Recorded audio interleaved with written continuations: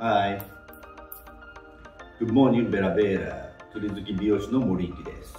チョキチョキ。えー、釣り行く前にですね、えー、まずはいつもの、えー、美容室の歩き方。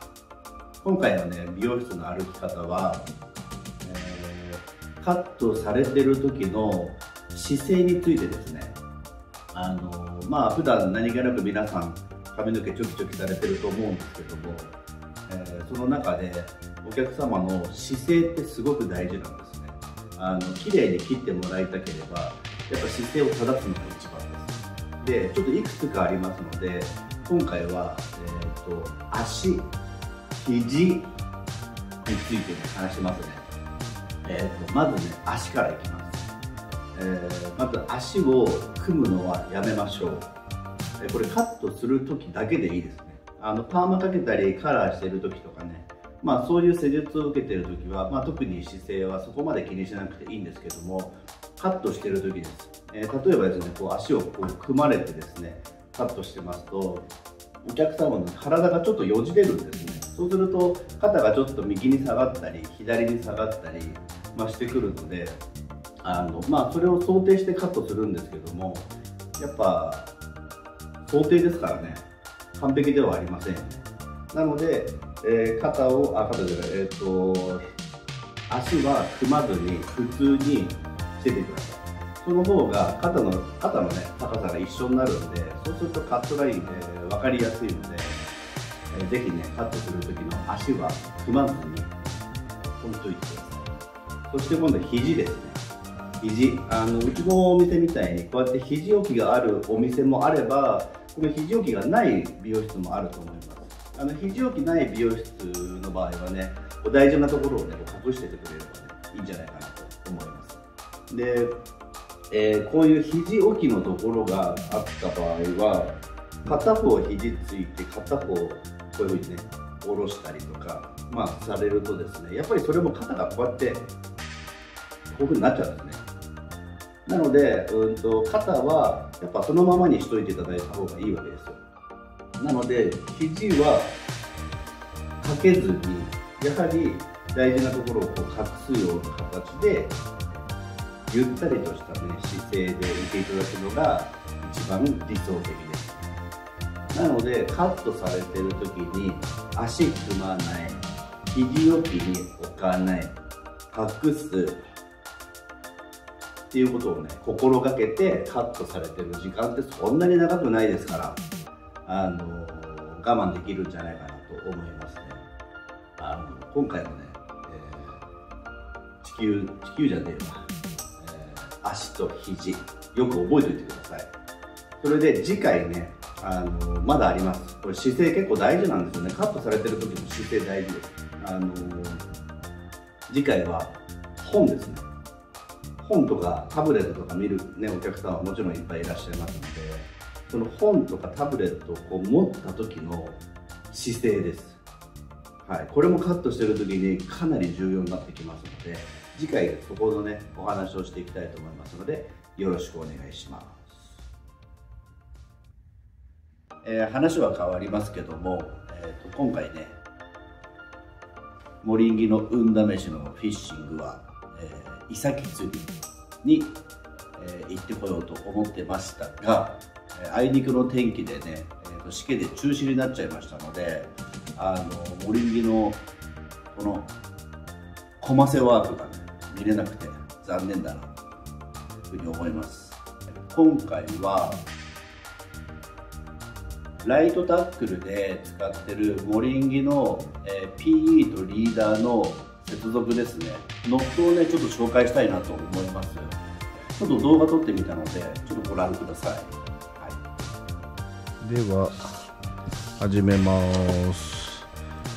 えーとまずリーダーとね P 用意したのでえーとまずリーダーを2つにこうやって折りますね。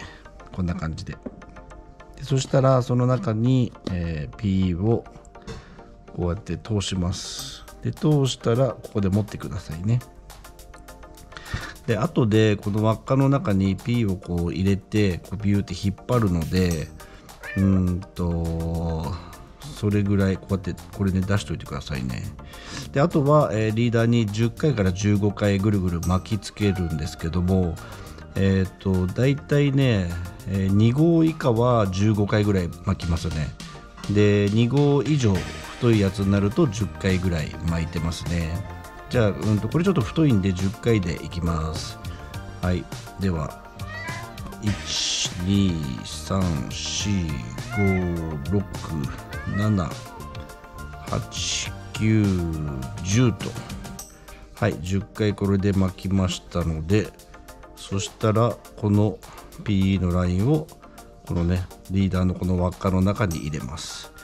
で入れたらこの両方 P 両方2本とも持って左手もリーダー両方持ってピューって締めます。そうするとこんな感じで締まってきますね。はい。でそしたらえっ、と2本 P2 本とリーダー2本持ってギュッて引っ張ります。これが仮締めになりますね。本締めの前の仮締めです。ギューって引っ張ってください。でたまに、えーと、ここがね P 秒って出てる時あるんでそういう時はこっちのねあの P の短い方の破線をこうギュッて引っ張ってあげると縮まりますんでね。はい。そしたら本締めいく時は、えーと、まず濡らします。え麦ちゃんも濡らして。うん嫌だって。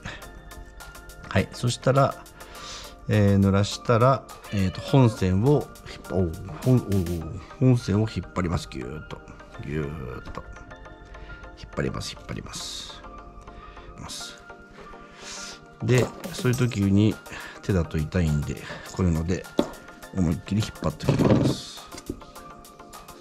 で思いっきり引っ張れたらえっ、ー、とこういう風にね飴色に変わりますね。色がね色がなんかまあ、これオレンジの糸なんでなんか飴色な感じになりました。これで完璧ですね。